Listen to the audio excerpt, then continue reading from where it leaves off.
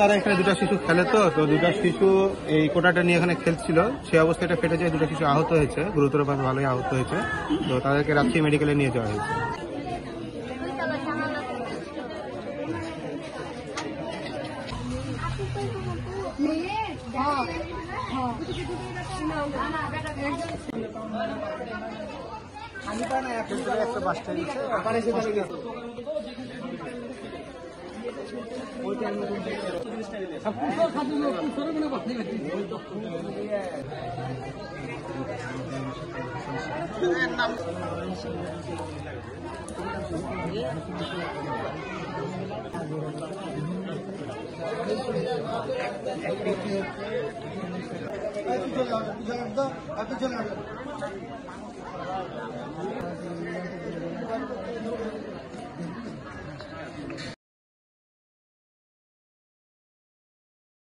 এখানে নামাজরত অবস্থায় ছিলাম, নামাজ পড়ে আমরা আমাদের কর্মসূচিতে যাব। এই সময় হঠাৎ করে বিস্ফোরণটা হয়।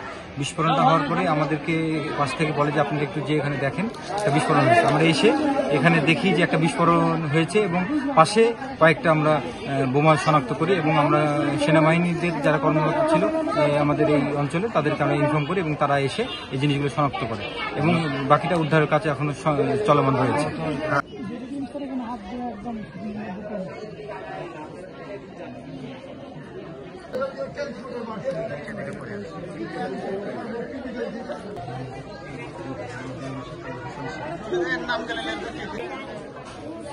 এলি এলি।